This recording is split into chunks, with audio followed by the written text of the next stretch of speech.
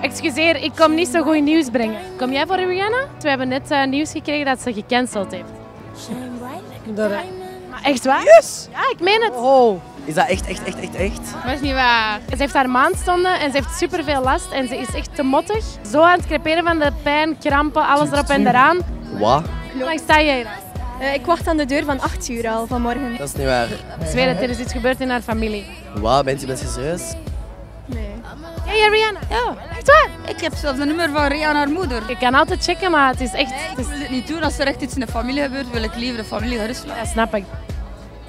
Oké, dat vind ik absurd. Ik hoop dat ze nog komt, maar de kans is echt... Want we staan hier ook echt van gisteravond aan te schuiven. Speciaal voor Rihanna. Nog niets geslapen en zo. Dus eh, Zelf vindt ze dat niet leuk om de show te cancelen. haar familie is heel belangrijk, dat weet ik. Sorry, ik ben even sprakeloos. Ja, ik vind het ook heel erg. Daarnet heb ik eigenlijk gelogen, Rihanna komt wel. What the fuck, man? Ga weg! Sorry. Sorry. Go! Veel plezier vanavond. Fuck! Ah, dat was niet zo'n goed idee eigenlijk.